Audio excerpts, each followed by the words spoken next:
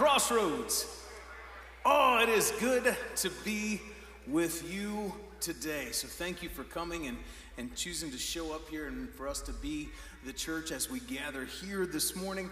As we get ready to go into this time of worship through music, I'm just going to invite you to worship with us. So lift your hearts. Uh, lift your voices, lift your hands if you want to. You can stand if you want, you can sit if you want.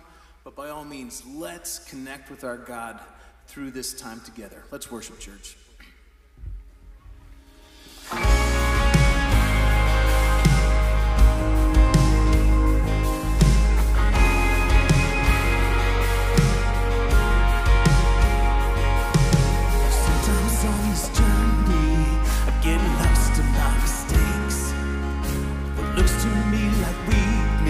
Is a canvas for your strength. And my story isn't over, story's just begun. And failure won't define me, cause that's what my father does. Yeah, Phil, you won't define me, cause that's what my father does. Ooh, lay your burdens down.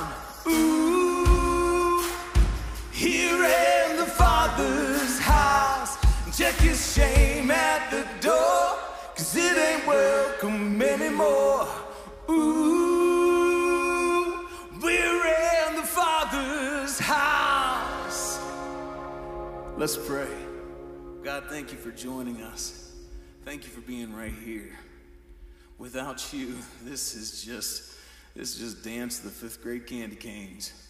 But God, I'm thankful that you're here because you are why we come together. You are, are why we devote ourselves for your glory, for your kingdom, so the world may hear about you. So, God, we, we place our lives before you right here, right now. Knowing that when we come together in your midst, you work among your people. Your scripture encourages, challenges, and your presence allows us to be able to live new. Thank you for allowing this opportunity to live like Jesus was skin on.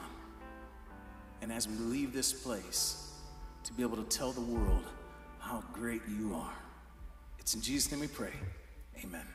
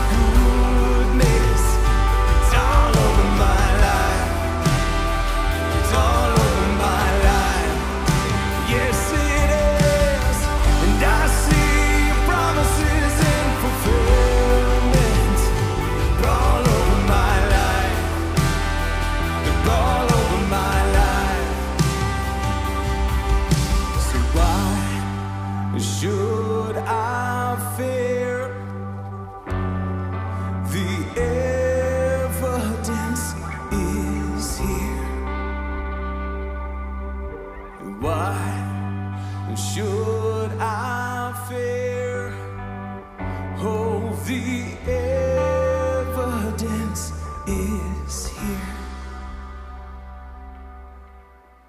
Speaking of fear, I, uh, I spent the week with first graders. um, doing this uh, summer camp thing for the next two weeks, and it started last week. Shoo-wee. People think I'm nuts for doing study hall with high school kids. Mm, man, you haven't hung out with a bunch of little five and six year olds. That is a whole, um, a whole different, um, yes, whole different pile. And uh, um, this I was wearing shorts, it was warm. I got real bad varicose veins on one leg. I'm just gonna throw it out there right now. So if you wanted to see me in a swimsuit, just be ready for it. But these little kids are all over the place, and they finally got to the point where they're not real scared of me, and they were starting to like getting close to me and talking to me. And this one little girl goes, "What's on your leg?" Which I thought she was talking about my Brody tattoo. I said, "No, it's a tattoo." She goes, "No, these bumpy things." I was like, "Okay, let's just point out the obvious, shall we?" I said, "Oh, those are." Those are varicose veins. What is that? I said, Well, when you get kind of heavy, your blood forms like a superhighway down to your foot. And that's what mine did. She went, I thought your leg looks really strong. and I said, Oh, thanks. And she goes, You're strong? And I said, well, I'm glad you think so. She goes, You're probably not afraid of anything. And I said, Oh, no. No, I no, I have my fears. You are afraid?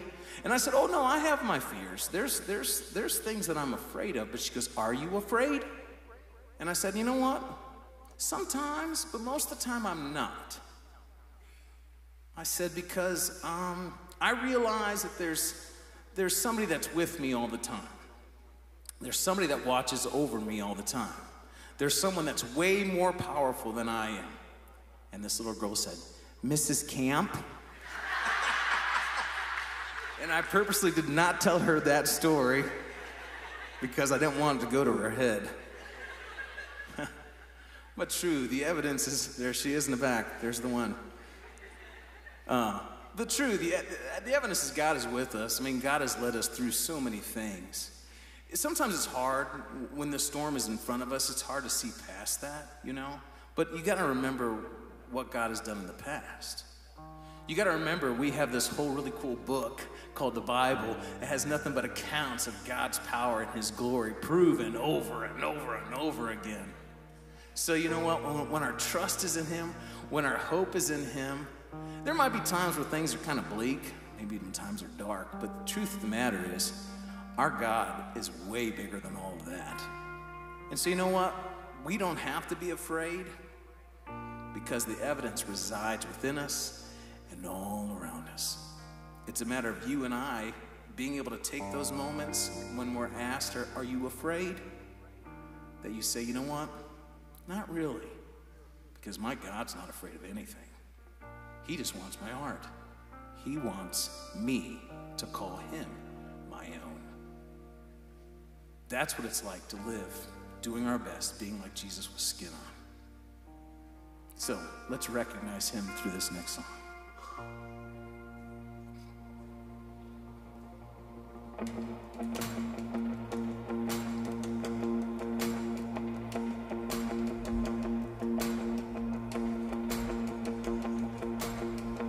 Through every battle, through every through every circumstance, well, I believe that you are my fortress, you are my portion, and you are my hiding place.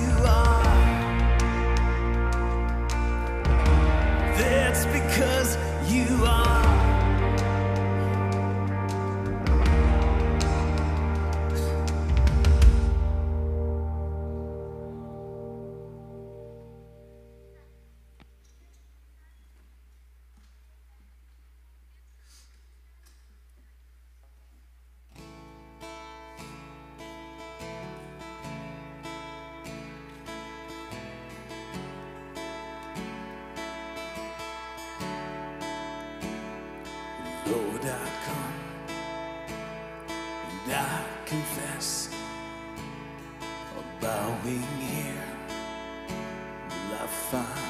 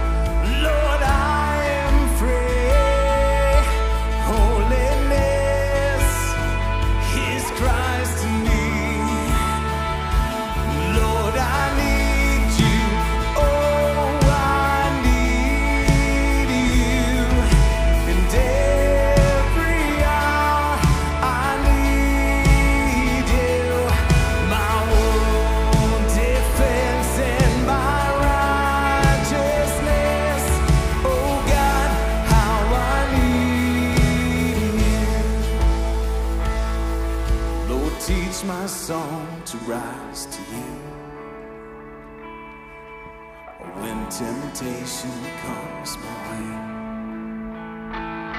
And when I cannot stand, I'll fall on you. Cause Jesus, you're my hope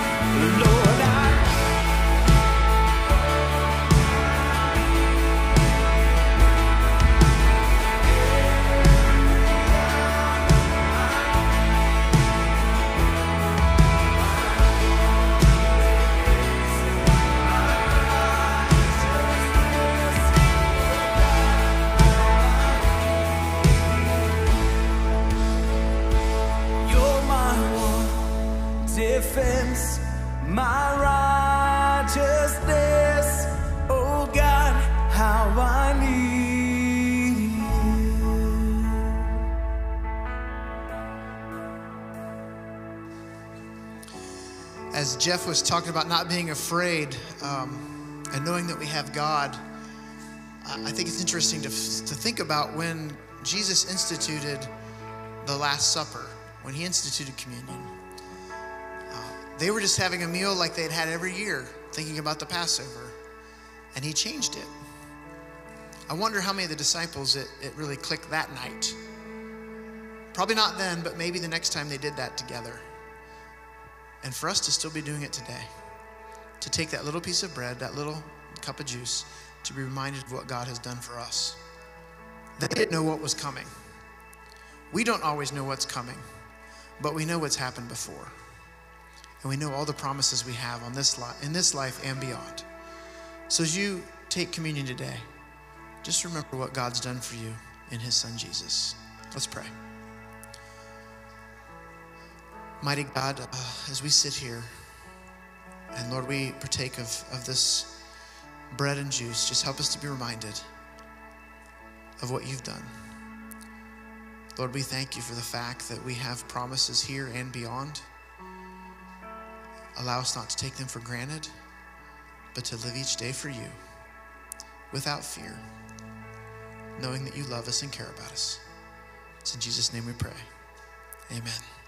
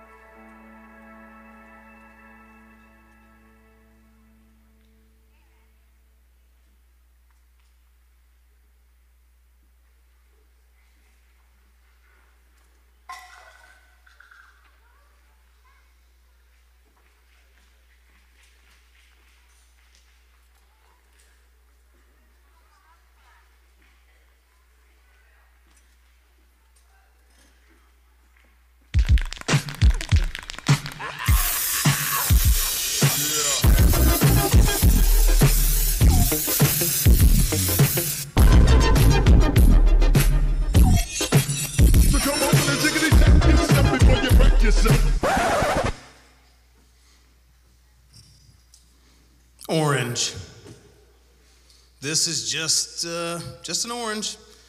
It's a navel orange. Got it for like 80 some cents at Walmart. If if I were to squeeze this orange, what would come out of it? Huh? What if, what if I took and I squeezed it with both hands like this? What would come out of it? What if, what if I put it on the floor and I stepped on it with my foot? What would come out of it? John, come here. John, come here. Everybody, John Duck. There he is. If you don't know John, shoo, underneath that shirt, he is an action figure. He has got muscles on muscles on muscles. When I look at John's picture online, I, it is. It's. It, I'm sorry. Um, when I see his picture online, you know what? the- um, honestly, this is the very first thing that comes to my mind. That ain't real. That is not real. John, could you take that orange? John, could you uh, put that orange above your head? Yeah, just for right now, hold it up above your head, like above your head, head. Yeah, this this arm can go on it too. I can see your armpits, but they're muscular too. Jeez. All right, so John is muscle clad. He is an action figure under there. I'm not touching it. Yuck. So if John, with his amazing, what are these called? Are they, what are these ones? Biceps? Okay. Curls for the girls. Now, if John, with his amazing biceps, if he was to squeeze that orange directly above his head, what would come out? I'm not gonna make you do that. I'm not I'm not gonna make you do that. Thanks, John. Go sit down. Thanks, John. You know what? Even John, with his amazing strength, if he were to squeeze this orange, the same thing's gonna come out of it orange juice. Why? Because there's juice inside the orange. No matter how it's squeezed, no matter who does the squeezing, no matter when the squeezing happens, orange juice is always going to come out of the orange. Juice will always come out of it. When you're squeezed, when you're squeezed, what comes out of you? If John were to squeeze me, I know what would come out of me. But when you're squeezed, what comes out of you? I mean, when the pressure is on, when the tension, when the stress is on you, what comes out of you? Hmm. Do you blame what comes out of you to the stress? Do you blame the tension? Do you blame the pressure? Oh, the things at work are so bad. I just couldn't help but say that. Or I just had to do that. Or you have no idea. I'm just smothering. And so, therefore, that's why that was said. Or that's why I reacted in that way. Do you, do you blame?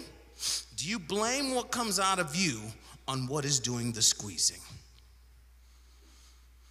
Because ultimately, what comes out of you is because it's what's within you.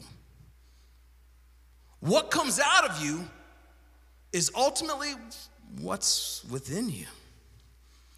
Today we're talking about your attitude. Check your attitude. Your attitude is yours. You cannot blame your attitude on someone else. You can't blame it on something else. You cannot blame it on how you're being squeezed or what's doing the squeezing. You cannot blame it on the stress. Your attitude is yours, it's within you. And your attitude is very, very powerful. I think we underestimate just how powerful our attitude is.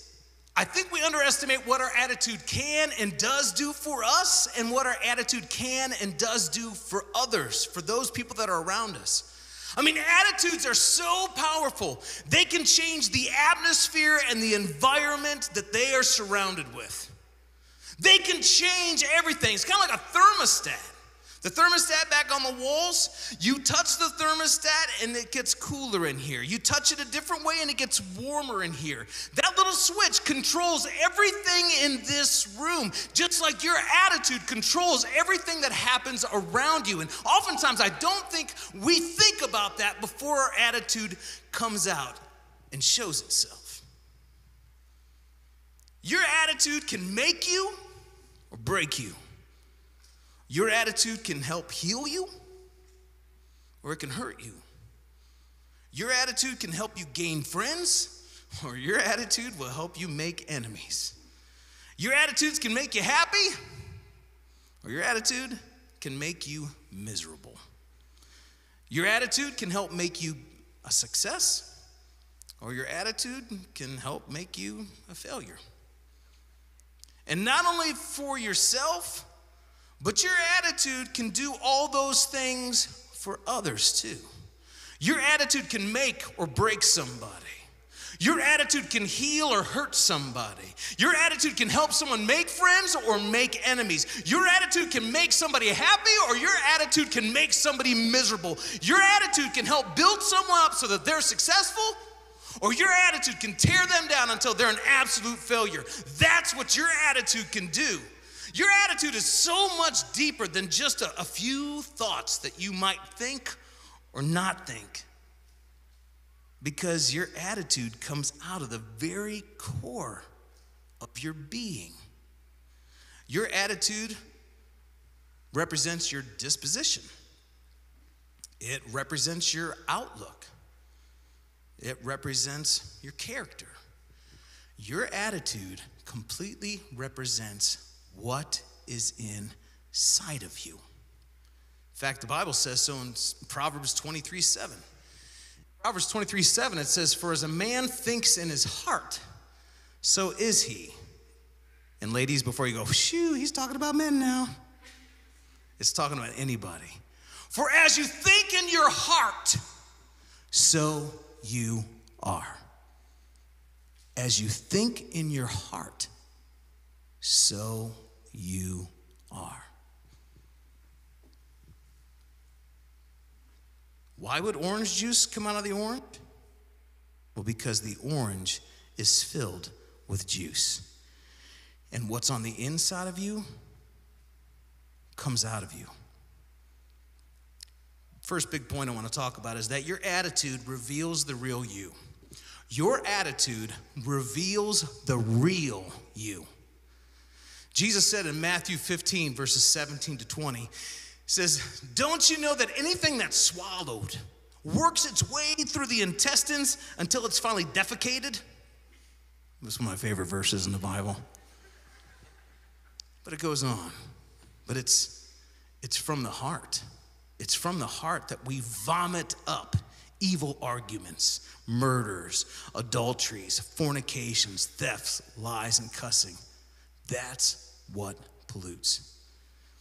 We can understand the fact that if I if I swallow something, if I eat food, it's eventually going to work its way through me and come out. But the stuff that comes out of our mouth doesn't start with just in our head, it starts in our hearts.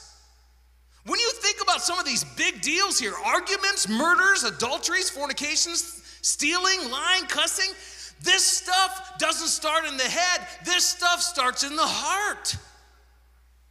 All of this bad crap happens happens because we have a crappy attitude. Our heart is crappy. Your attitude always, always dictates your actions and reactions. And your actions and reactions can and will change the atmosphere and environment around you. It's very easy for us to recognize the bad attitudes of others. We all have people in our lives that we don't like to be around because they have a crappy attitude. I hate working with that person. They make me miserable. I hate being around that person. They're just not a good team player. But boy, we have a hard time when we realize it's our attitude that sucks. Mm, it's not as fun, is it? but our attitude represents the real you.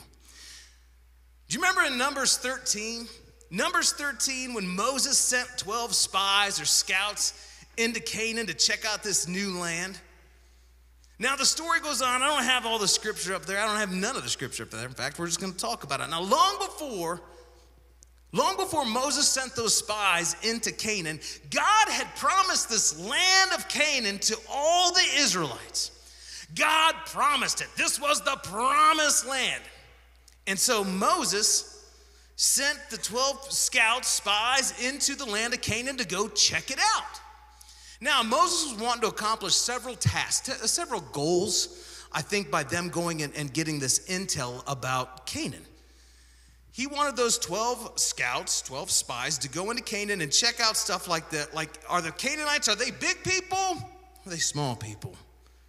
Is the land there easy to navigate or is it mountainous? He wanted to find out stuff like that. He wanted to find out if their cities were like fortresses or if they were just like camps, you know, just simple things. He wanted to find out if the land was, was uh, fertile, like it was good for growing stuff, or if it was barren, dry, like a desert. And if it was fertile, he specifically sent those 12 spies with instructions hey, bring back some form of fruit from there, bring back some form of produce so we can all check it out. And so that's the goal. And so Moses sent these 12 out to go and check it out. So they go, and they're gone for 40 days. And they finally come back again, and they come back and they reported that the place was amazing. They reported that the fact that there were huge resources, there was even a cluster, one cluster of grapes that was so big it had to be shouldered on a pole between two guys. That's how big this one cluster of grapes was. So, I mean, Moses had to see that and think, oh, yes, nice. That's a lot of grapes. I'm sure he was thinking, this is awesome. This is going to be the good news that the Israelites need to hear as we prepare to go into battle to take Canaan, Canaan, the, the land that God promised for us. So Moses was just amped about that. This is awesome. I cannot wait to tell all the rest of the Israelites about how incredible this place is. But unfortunately, the scouts weren't done reporting. See, they also gave a discouraging report about the people of Canaan being huge, like giants. And they talked about the cities were like fortified and made it seem like the Israelites are never gonna be able to go in there and take over. Made it sound like the Israelites have no chance against, against these Canaanites. But there were only two spies out of the out of the 12. There was two. Caleb and Joshua. And they were the positive ones. They were the ones that were like optimistic. They were the ones that had a good attitude. And they're like, hey, no, come on, hey, hey, guys, we can do this. We can do this. This is what God promised. But the other 10 are like, no, no, no. I mean, God commanded Moses to go ahead and send the 12 in. God, God told Moses, go do that. Go check it out. Let them come back and give you all the intel so that way I will join you. We will go in there, we will sweep the place, and you and the Israelites, you can have it. It was God's command to go do this. And God had already promised to fight the battles for them, but they had to have a positive attitude and they had to move forward in faith. Remember, God had already promised to give them that land. He already promised to give them a total victory if, if they would just trust him. So, long story short, I mean, ultimately the spies went and they go and they got the intel and they came back.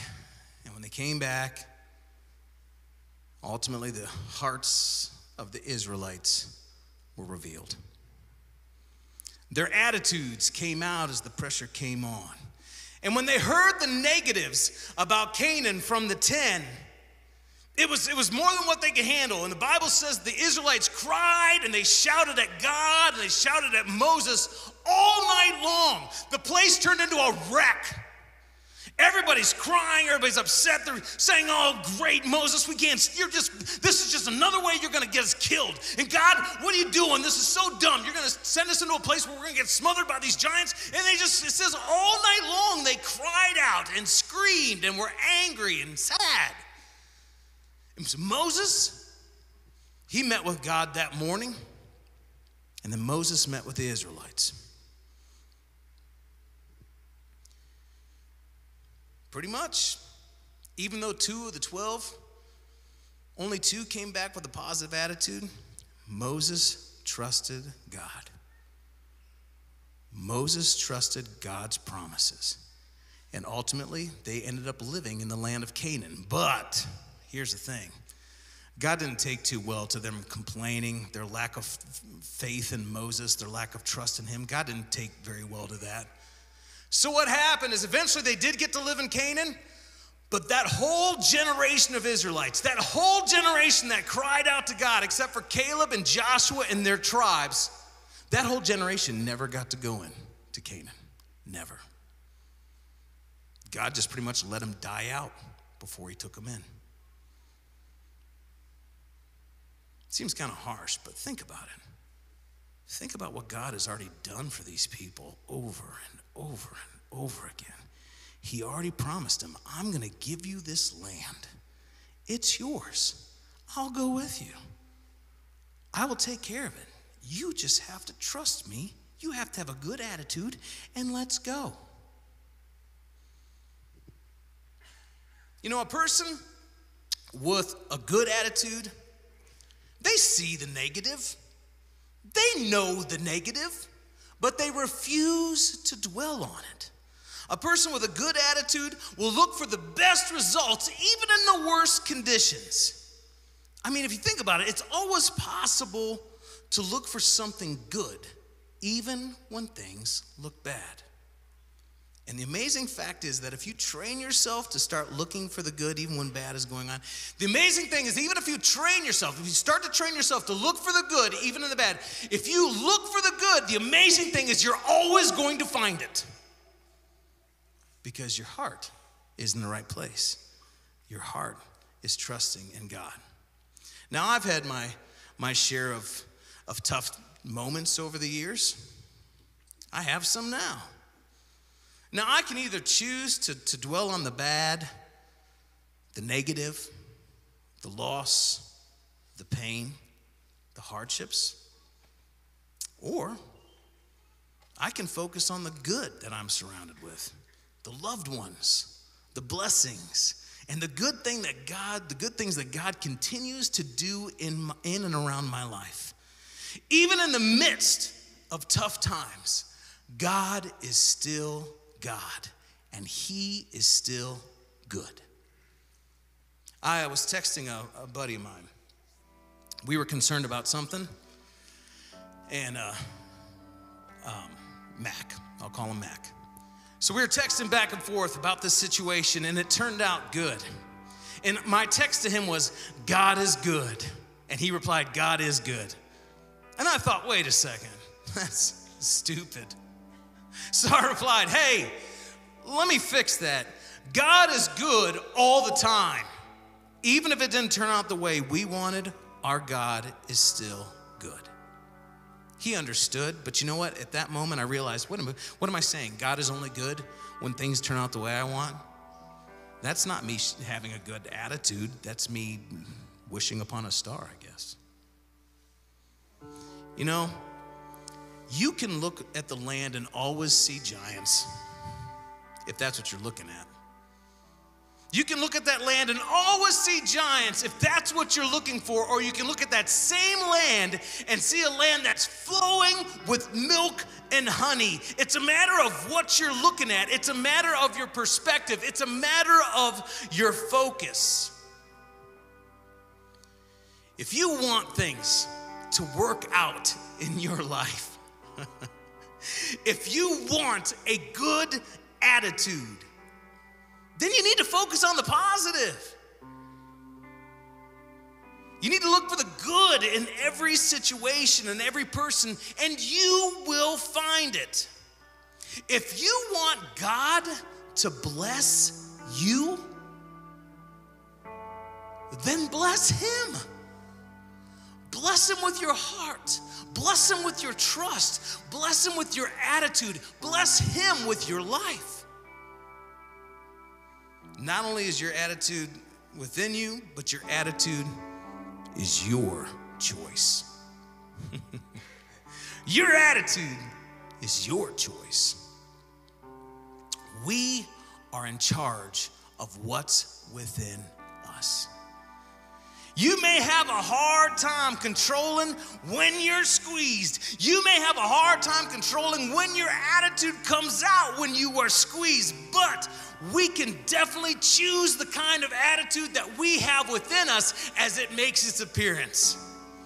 If you change your negative attitude to a positive one, you not only can change your world, but you can change the world of the people around you. It can come from you. Trust in God. Church, trust in God. Trust what He says. Trust that He absolutely loves you and trust that He is in control. Trust Him and move forward in faith. I think sometimes we get we get distracted. I think we lose our focus at times. We know God's there, but sometimes it's just easy for us to forget about it. So here's how I want to end today. I'm going to read some scriptures. I'm going to read them out loud, but if, if you want to keep your eyes open and read them off the screen, do that. If you want to close your eyes and meditate on, on them, I want you to do that because these are important scriptures that show you and show me how incredible our God is and how He just asks for us to trust Him.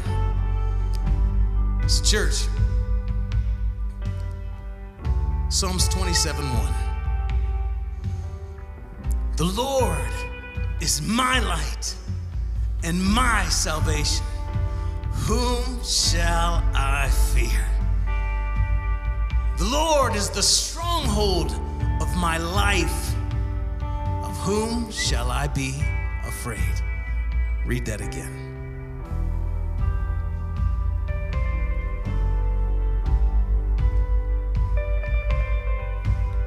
Joshua 1 9 says, Be strong, be courageous, don't be afraid, don't be discouraged, for the Lord your God will be with you wherever you go.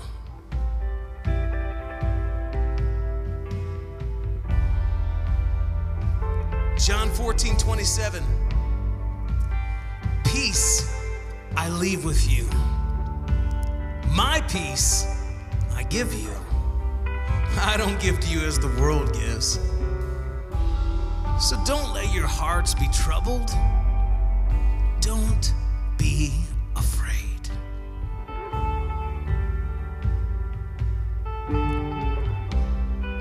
Romans 8 38 to 39. For I am convinced that neither death nor life, angels or demons, the present or the future, or any powers, height or depth, nor anything else in all creation will be able to separate us from the love of God that is in Christ Jesus our Lord. In 1 Peter 5 6 to 7, humble yourself, therefore, under God's mighty hand, that He'll lift you up in due time. So cast all your anxiety on Him because He cares for you.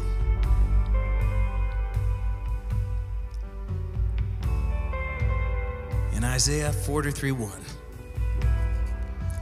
this is what the Lord says He who created you, He who formed you, don't fear, for I have redeemed you. I have summoned you by name. And you, you are mine.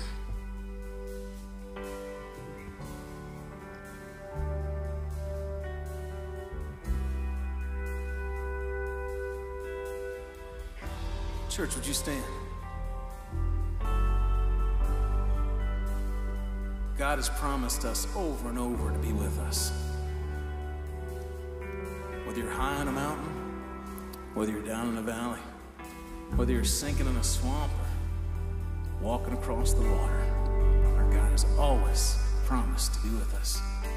So as we face our future, as we face these next moments in our lives, let's trust that He is with us and allow that to manifest itself in our hearts, that trust, so we can follow Him wherever He leads. Let's sing this together. You call me out upon the waters, the great unknown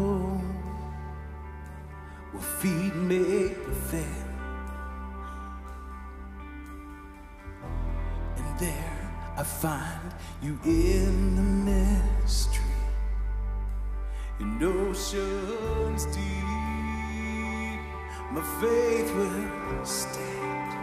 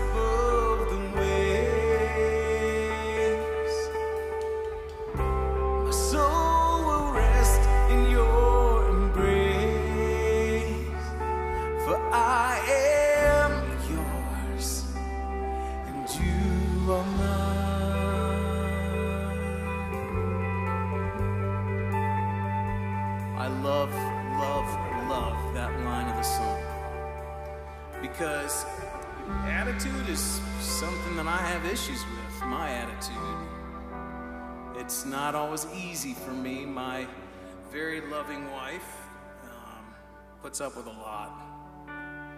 And she hears me grumble and complain, and she hears my crappy attitude uh, often. And it's been something that I've been working on for a while now.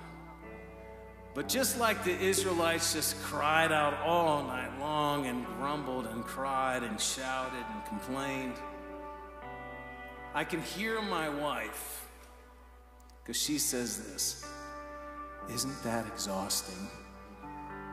Aren't you exhausted? Being so negative. Doesn't that get tiring, Jeff? Don't, don't you get tired of that? And you know, when she would say that, it never fell on the most inviting ears. Most of me did not want to hear her say that. But the truth of it, yes, I'm exhausting myself with my crappy attitude, with my lack of trust, with my fear, with thinking that somehow I'm going to work it all out. Yes, that's exhausting. And it's an absolute lack of faith and trust in God. Like I said, I'm working on it.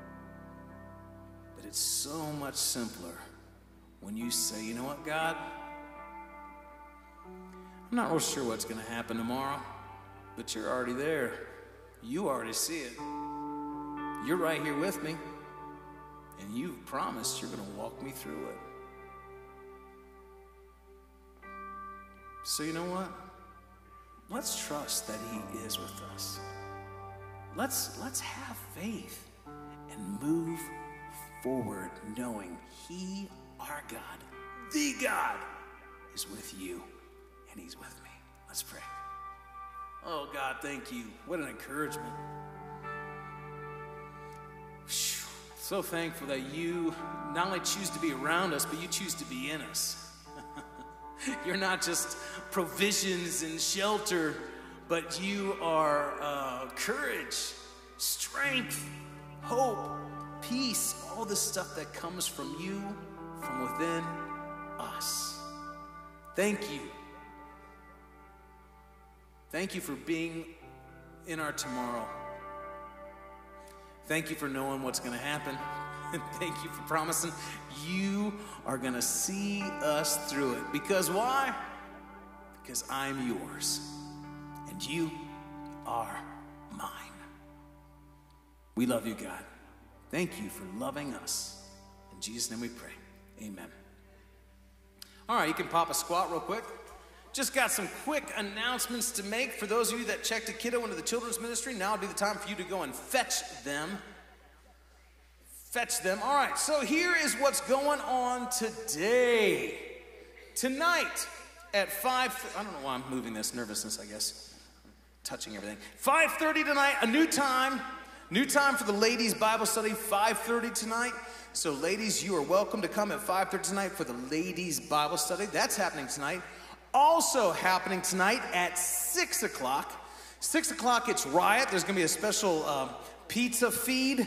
Uh, so that's happening for all those junior and senior highs. It's going to be happening here tonight at 6 o'clock. Now, side note for those of you that are going to be going to CIY, Christ in Youth, Jason and Ann want to meet with you in the riot room as soon as we get out of here. So, as soon as we get out of here, if you know that you're going to CIY, please meet back in the riot room right after this. And then happening at 7 o'clock tonight, we are excited. I hope that you are. We're very excited about the night of worship that we're going to have.